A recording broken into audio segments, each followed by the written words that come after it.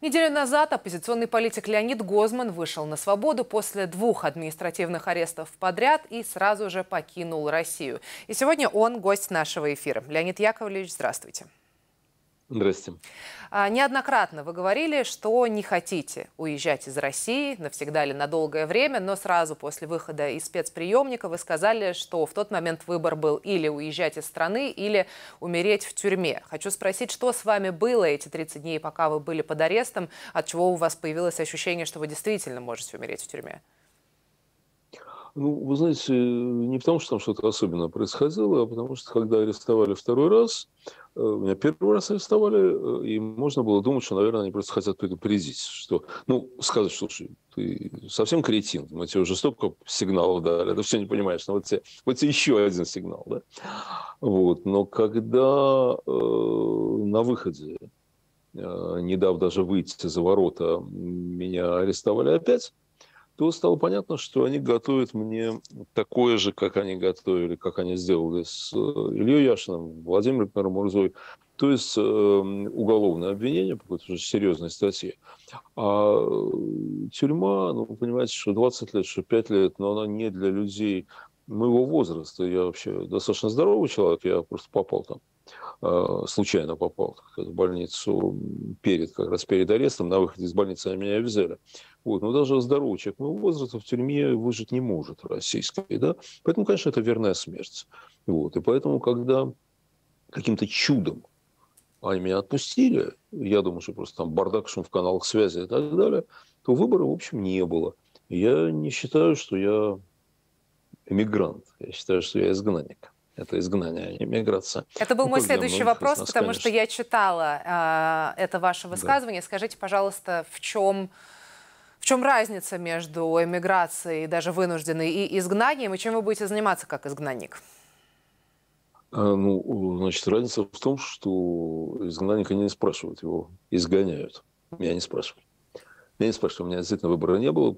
Ну, э, понимаете, в чем дело? Если бы я был, там, сказать, моложе, я мог бы, допустим, считать, что я переживу там несколько лет в тюрьме, выйду оттуда, буду Нельсоном Манделой там, или одним из Нельсонов Мандел нашей страны. Вот. Поскольку у меня таких шансов нету, то выбор именно вот, так сказать, либо умереть, либо, либо уехать. Да, я не считаю, что это свободный выбор. Понимаете, поэтому меня просто не спрашивали. В этом, в этом разница. Угу. Иммиграция – это когда люди думают, взвешивают и считают, что для них лучше сделать вот так. Да? Чем тут заниматься, я пока не знаю. А, значит, ну, во-первых, во-первых, я надеюсь вернуться. Я очень надеюсь вернуться. Я вернусь сразу же, как рухнет этот режим. А он рухнет быстро. Я думаю, что он рухнет быстро. Вот, поэтому я надеюсь вернуться. Здесь, ну, наверное, я не думаю, чтобы я там активно включался в политическую борьбу, поскольку я считаю, что э, из-за границы что-то сделать всерьез... Нет, ну есть серьезные вещи, но они скорее гуманитарные, что ли. В общем, в, чем, в том, что мне будет казаться осмысленным, я, конечно, буду участвовать. А вообще я хочу написать довольно много, чего не успевал сделать в России, может быть, смогу сделать здесь. Скажите, а могли ли вы каким-то образом следить за новостями те 30 дней, что вы провели под арестом? Потому что это были довольно интенсивные 30 дней, и кажется, что ситуация на фронте, в России, в мире за этот месяц переворачивалась. Какие у вас ощущения? Да, конечно.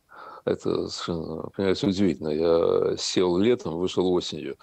Я сел сел в одних границах Российской Федерации, вышел в других границах Российской Федерации, ну и так далее. Конечно, конечно, очень много изменилось. В деталях я следить не мог, но все-таки там ко мне приходил адвокат и рассказывал, что происходит и так далее. Кроме того, все-таки я, как только вышел, я тут же, знаете, влез в интернет, из него не вылезал несколько дней на предмет понимания, что происходило. К каким выводам вы пришли, э, когда все-таки вылезли после этого из интернета? Что успело произойти?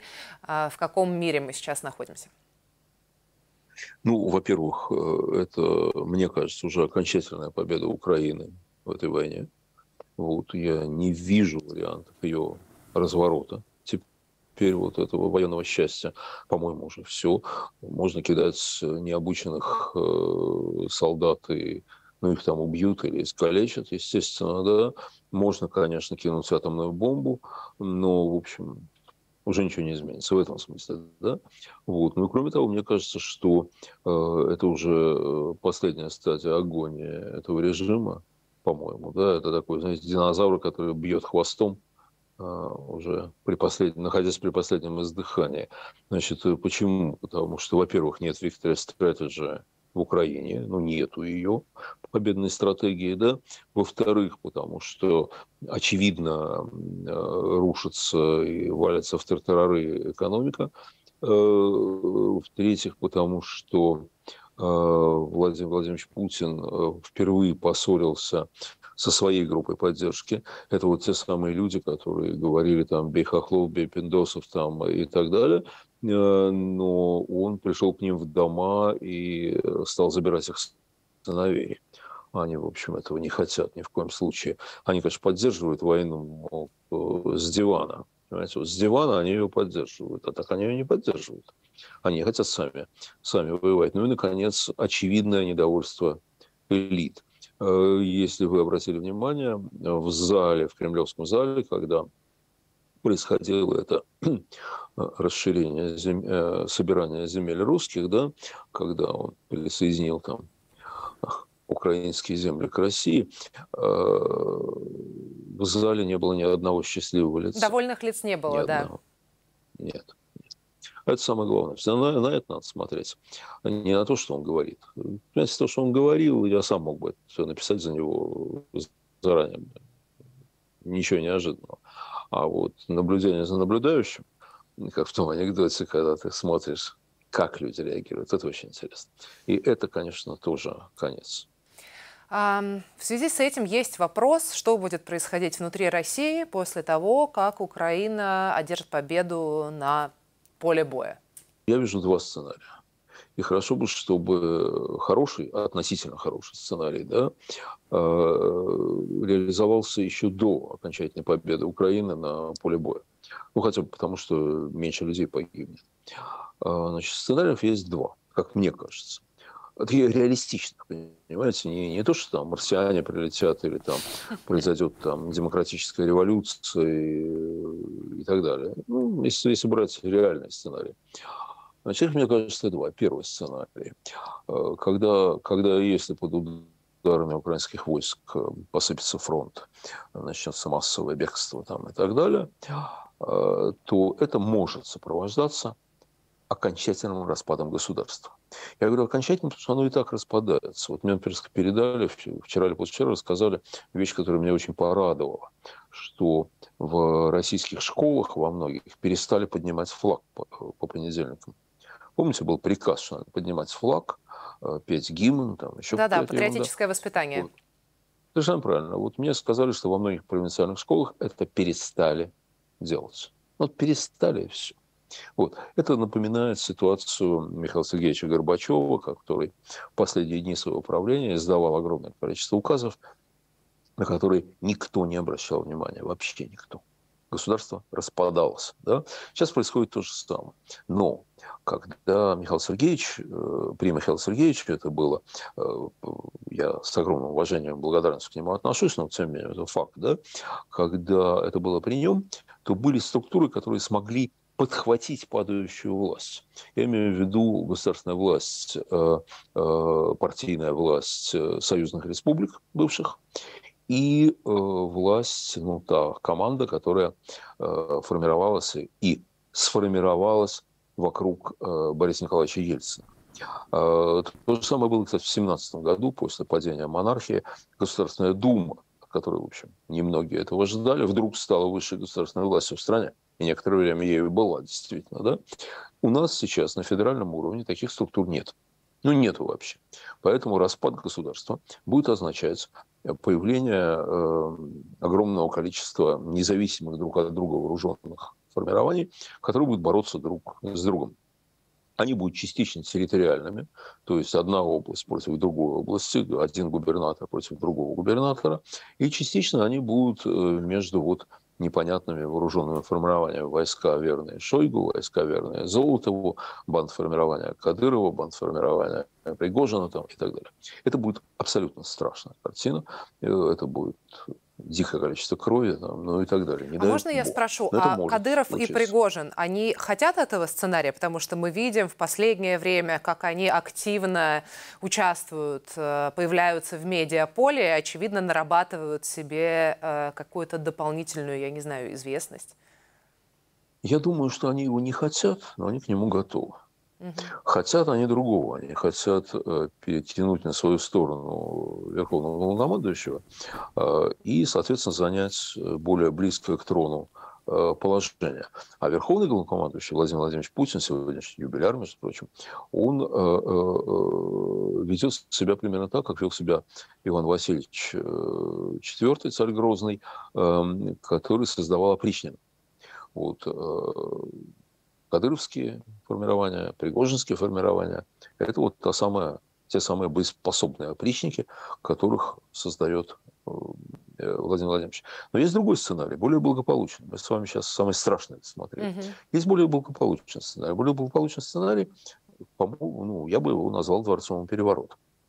Э, мы обычно понимаем под дворцовым переворотом э, табакерку, шарф, убийство монарха и так далее. Совершенно не обязательно. Он может быть совершенно бескровным.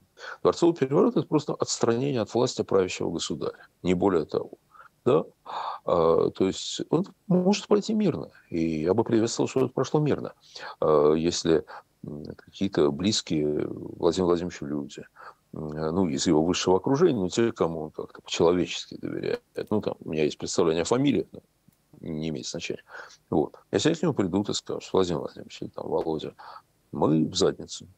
Через неделю нас повесят. И тебя, и нас. Да? Значит, давай вариант. Да? Вариант такой. Ты заболел, ты устал, там, ну, понятно, да? Вот, мы тебя делаем елбасы, там, отцом нации, еще чего-то. Мы окружаем твой дворец в Геленджике верными войсками, чтобы тебя там никто не тревожил, там, ну и так далее, да? А вместо тебя мы, давай будет э, Вася, да? Вася мы все знаем. Вася человек Э, послушный, ничтожный. Соответственно, значит, он не вырвется, сам не будет ничего делать.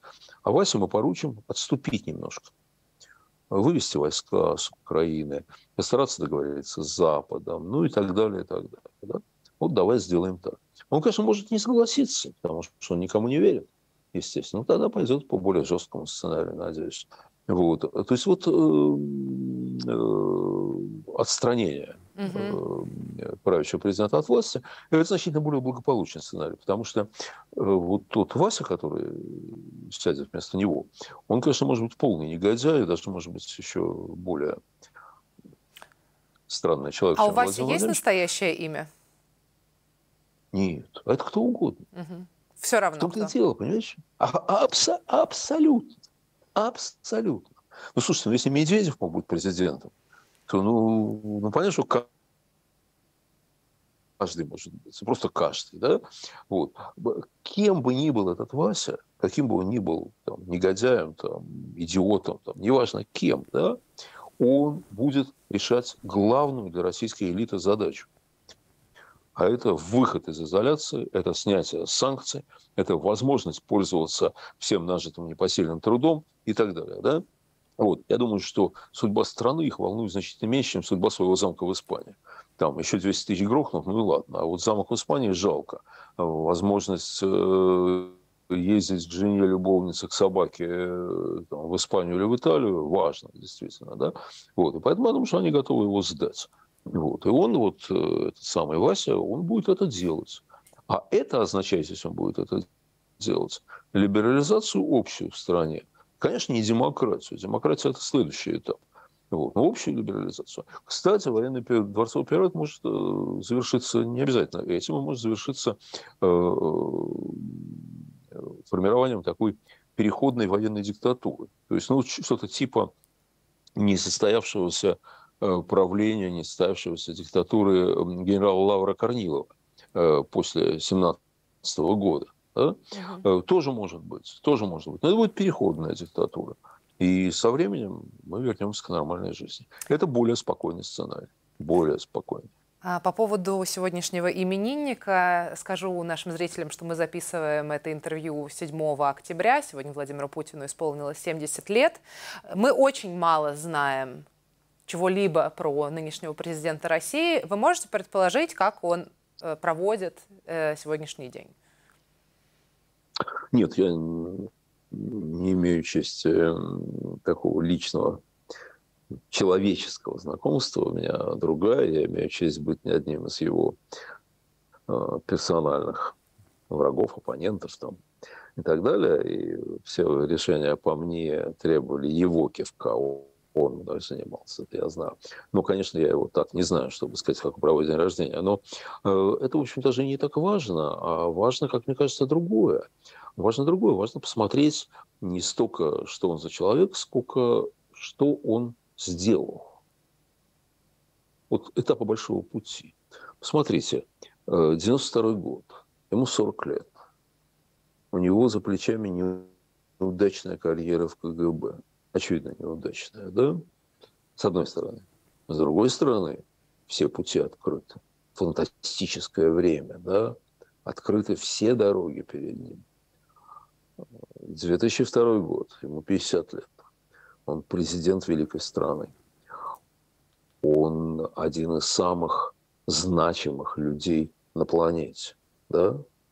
Но, правда, за спиной уже чеченская война и страшные вещи. За спиной взрывы, взрывы домов. Я не утверждаю, что это он сделал, но они были, да? Вот. За спиной уже много чего. Но пока еще у многих людей сохраняется надежда. Это 2002 ему 50 лет. 2012 ему 60. Он мог бы быть уважаемым авторитетным ветераном.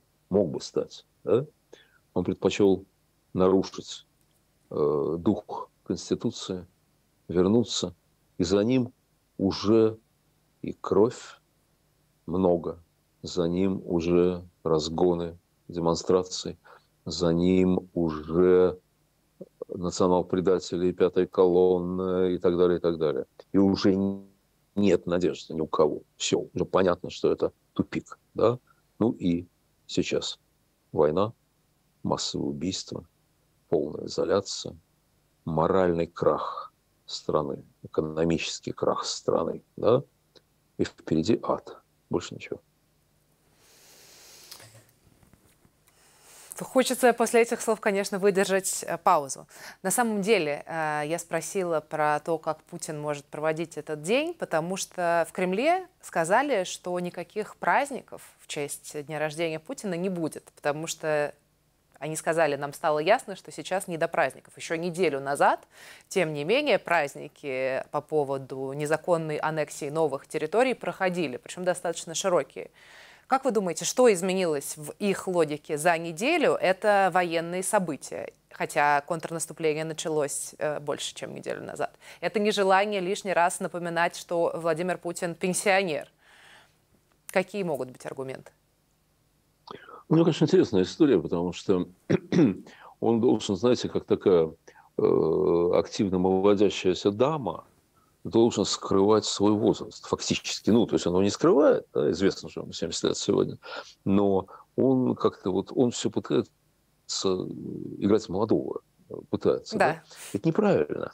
А в такой ситуации человек, ну, не знаю, там, Рональд Рейган, он там демонстрировал, что он здоровый человек, да, но он э, не делал вид, что ему 40 лет. Ну, не делал, он как-то, ну, вот, вот возраст какой есть, все мое. Да? Там, а Франклин Рузвельт ездил на колясочке, и тоже ничего, и был великий президент. Вот. А он, знаете, он не смог, я думаю, что это еще и человеческая проблема, не только политическая, он не смог перейти в, новую, в новое качество. Вот у него это как-то не получилось. Насчет того, почему не празднуют, ну, во-первых, я хочу вам напомнить, что они никогда не праздновали шумный его день рождения. Этого, этого не было. Возможно, ему это просто не нравится. Да? Ну, не нравится, все, в конце концов, царь э, не хочет, не делает. Вот. На какие-то дни рождения он вместе со своим э, лучшим другом э, Сергеем Шойгу уезжал куда-то там в тайгу, там еще как-то. В общем, он, он, он этого не любит, действительно, да. Хотя я слышал, что они собирались на 70-летие приглашать лидеров стран СНГ. Да? В общем, я думаю, что это либо такой традиционный отказ от паблика, либо, если действительно они собираются приглашать лидеров стран СНГ, я не могу быть в этом уверен, потому что, по-моему, это сообщения были тогда, когда я там у них сидел, э, э, то, то это означает признание поражения тоже. Я не думаю, что у него было хорошее настроение. Леонид Яковлевич, спасибо вам большое. Идет. Спасибо вам большое за этот разговор. Леонид вам Гозман был в гостях да. у канала «Настоящее время». Спасибо.